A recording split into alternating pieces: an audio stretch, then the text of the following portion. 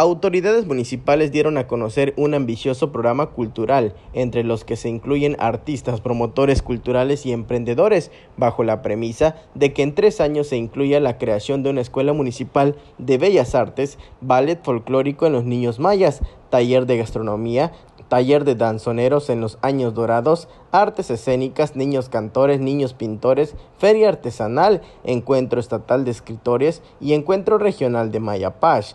Este evento estuvo a cargo de la presidenta municipal Sofía Alcocer.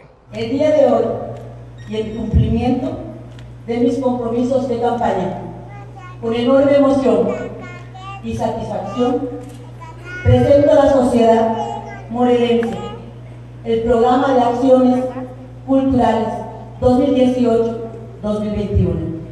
Una de las características fundamentales del programa que hoy se presenta es la manera inédita y particular de, divulgar la cultura local al exterior del país, específicamente a Suecia, al norte de Europa.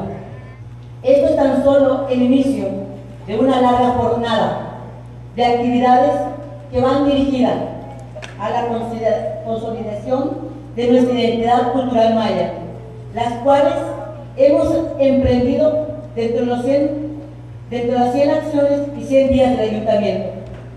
El evento dio inicio con la presentación cultural de los alumnos de la máxima casa de estudios en el municipio La Wincro.